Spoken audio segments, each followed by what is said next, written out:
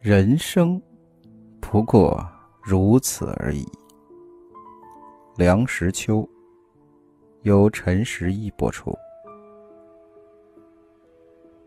树担心的是外在的险恶，人烦虑的是内心的风波。北平的家差不多家家有几棵相当大的树。前院一棵大槐树是很平常的，槐荫满庭，槐影临窗。到了六七月间，槐黄满树，使得家像一个家。虽然树上不时的有一根细丝掉下一条绿色的肉虫子，不当心就要粘得满头满脸。槐树的寿命很长。有人说，唐槐到现在还有生存在世上的这种树的树干，就有一种揪绕盘曲的姿态，自有一股老丑而并不自闲的神气。有这样一棵伫立在前庭，至少可以把树小强心画不鼓的技巧免除三分之一。后院照例应该有一棵榆树。榆与榆同音，是有余之意。否则，榆树没有什么特别值得人喜爱的地方。成年的往下洒落五颜六色的毛毛虫，榆钱做糕也并不好吃。至于边旁跨院里，则只有些枣树的份儿，叶小如鼠耳。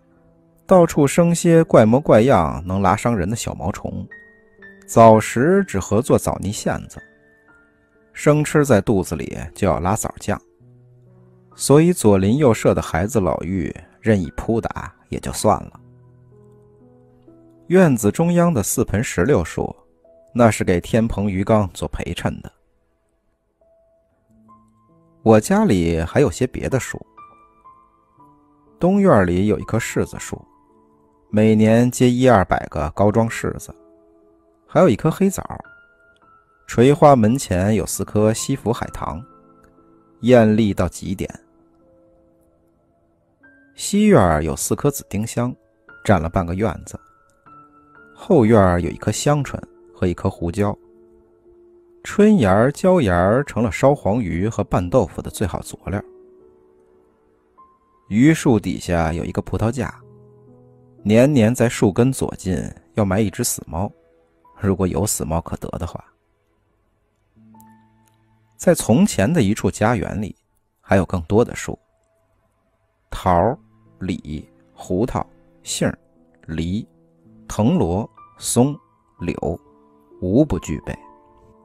因此，我从小对于树存有偏爱。我常面对着树，生出许多非非之想。觉得树虽不能言，不能解语，可是它也是有生老病死，它也有荣枯，它也晓得传宗接代，它也应该算是有情。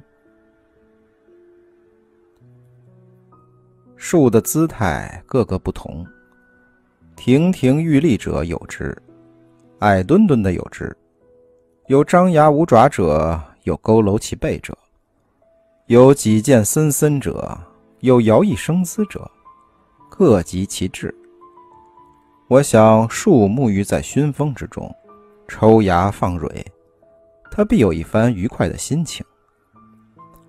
等到花簇簇、锦簇簇，满枝头红红绿绿的时候，招蜂引蝶，自幼有一番得意。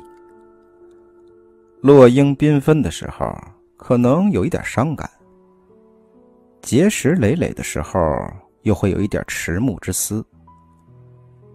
我又揣想，蚂蚁在树干上爬，可能会觉得痒痒出溜的；蝉在枝叶间高歌，也可能会觉得聒噪不堪。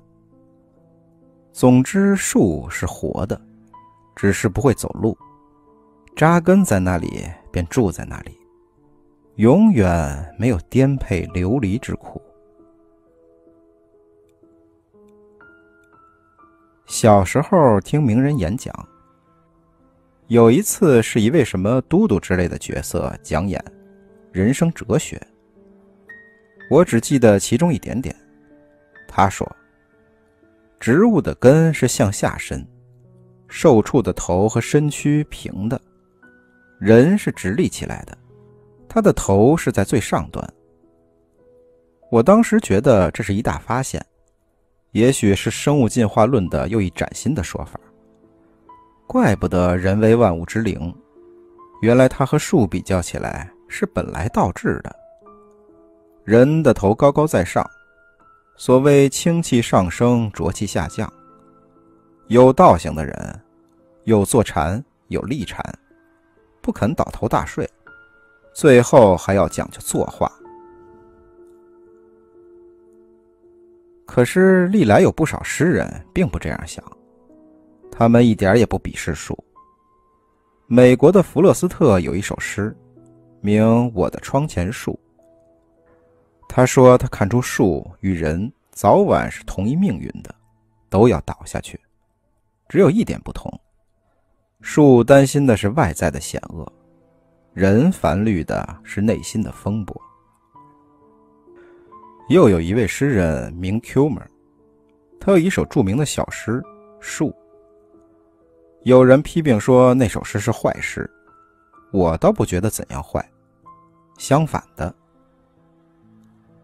诗是像我这样的傻瓜做的，只有上帝才能造出一棵树。这两行诗颇有一点意思。人没有什么了不起的，奢言创造。你能造出一棵树来吗？树和人都是上帝创造的。最近我到阿里山去玩，路边见那株神木，据说有三千年了。比起庄子所说的“以八千岁为春，以八千岁为秋”的上古大春还差一截子，总算有一把年纪。可是看你一副形容枯槁的样子，只是一具枯骸，何神之有？我不相信枯树生华那一套，我只能生出树犹如此，人何以堪的感想。我看见阿里山上的原始森林，一片片黑压压，全是参天大树，郁郁葱葱。但与我从前在别处所见的树木气象不同。北平公园大庙里的柏，以及紫铜道上的所谓张飞柏，号称翠云廊，都没有这里的树那么直那么高。像黄山的迎客松，曲铁雕刻就更不用提，那简直是放大了的盆景。这里的树大部分是桂木，全是笔直的，上好的电线杆子材料，姿态是谈不到，可是自有一种真莽来除、入眼荒凉的原始山林的静意。局促在城市里的人走到原始森林里来，可以嗅到高贵的野蛮人的味道，令人精神上得到解放。